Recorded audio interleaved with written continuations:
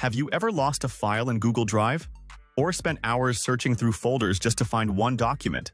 We've all been there. But no worries, Google Drive has some hidden features. From restoring deleted files to organizing with colors and even working offline, these tips will help you stay productive without the hassle. Let's dive into 7 useful Google Drive tips and tricks that you probably didn't know about, but will definitely love.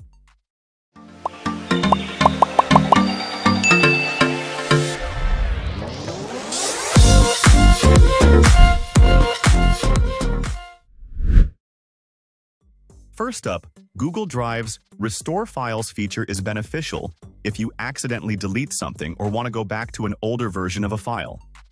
If you delete a file, it goes to the trash folder and can restore it within the last 25 days. To do this, you need to go under the left-hand section. Here, you'll find the Trash option in the menu.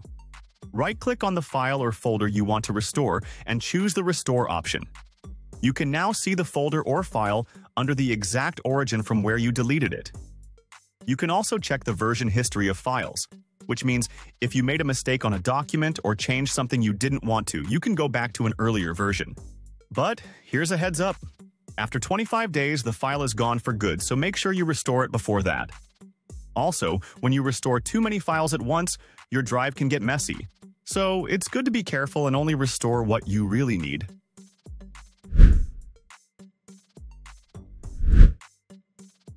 Next up, one feature that we love is color coding, which allows you to organize folders based on color. It is similar to how you used colorful sticky notes, where you divided the theme according to color. This makes it easy to tell folders apart at a glance, so you don't have to waste time opening each one to check what's inside. That's pretty useful if you have multiple folders for different projects, subjects, or types of documents. To do this, just right-click on a folder, hover over the Change Color option, and you'll see a bunch of color choices. Now pick the one as per your preferences. Once you choose a color, the folder will turn into that color, which makes it easy to spot among the others. This little trick can save time and reduce confusion, especially when dealing with a large number of folders. However, it's important to note that this feature only applies to folders. You won't be able to change the color of individual files.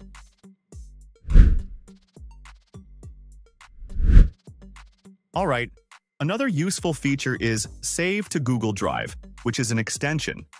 If you're constantly saving web content or screenshots, this Chrome extension can make the process easier. You can save entire web pages, images, and even audio or video files to your drive. Just right-click on any link, image, or media and hit Save to Google Drive, and it'll be there. Also, if you need a full-page screenshot, then you can use the Browser Action button. For PDF, just print the page and choose Save to Google Drive from Chrome's print menu. Plus, you can change the settings to decide how your saved pages should be stored, whether as an image, raw HTML, MHTML, or even a Google Doc. Oh, and if you work with Microsoft Office or CSV files, there's an option to automatically convert them into Google Docs format. Once saved, you can rename, open, or organize the file right from the progress dialog. That's pretty convenient. But here's a small catch. This extension works well on regular web pages, so it might not save content properly from certain sites, especially social media feeds.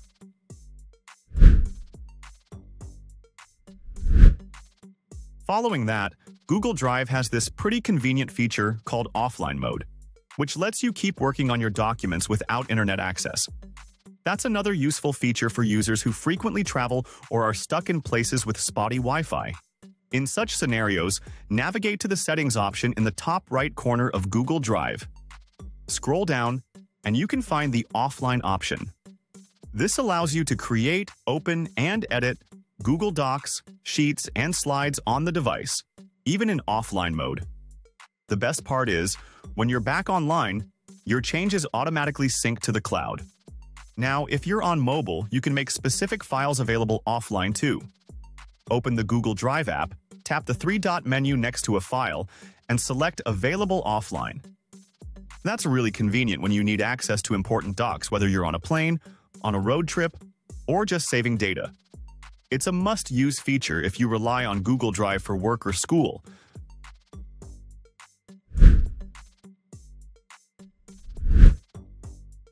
One of the features we really like about Google Drive is how it can read text from images or PDFs. It's really helpful when you need to extract text from an image or a scanned document without manually typing everything out. To do this, upload your image or PDF to Google Drive, then right-click on it and select Open with Google Docs. Then you will get the full text from that image in the new document. That's really functional, especially when you've got a lot of text in an image and need to copy it without manually typing it all out. But one thing you should keep in mind is that the feature isn't always spot on. If the text in the image is hard to read or uses a fancy font, it might not get things right. And, most importantly, if you're extracting sensitive info, make sure you're trusting the image source and the tool is secure enough to protect your privacy.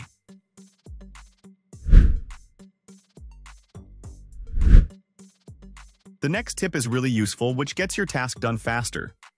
Keyboard Shortcut allows you to quickly access specific functions or content without having to go through multiple steps. This saves time and manages your workflow. For example, when selecting or unselecting an item in Google Drive, you can simply press Shift plus space instead of clicking the item with your mouse. This simple yet useful shortcut can really save time when the tasks require a lot of selection.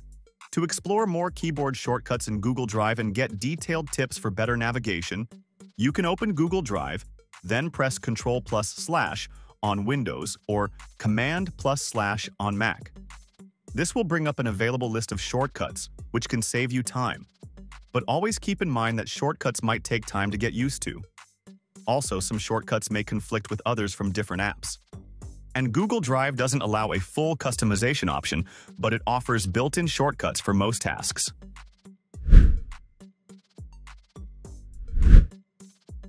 Last on the list is Google Drive's Keep Track feature, which is actually more of a combination of how it tracks and manages your file changes. The feature lets you see when a file was last modified, who made the changes, and what those changes were. It's pretty useful if you're working with a team or just need to track the progress of a project over time. Alongside that, you can easily check the version history of a document, spreadsheet, or presentation. So if you've ever made an accidental change, you can always roll back to an earlier version. You can also leave comments and even reply to comments in real time, which makes collaboration a lot smoother. As for things to consider, the only concern is making sure your permissions are set correctly. If you're sharing documents with others, it's important to decide whether you want people to just view, comment, or edit the file. So, limit editing access to protect privacy. And there you have 7 Google Drive tips and tricks that are going to make your file organizing much easier. Hope you found these tips helpful. Let us know in the comments which one you're going to start using or if you've got any secret tips to share. Don't forget to like, subscribe, and hit that notification bell for more content like this. Thanks for watching, and we'll see you in the next video.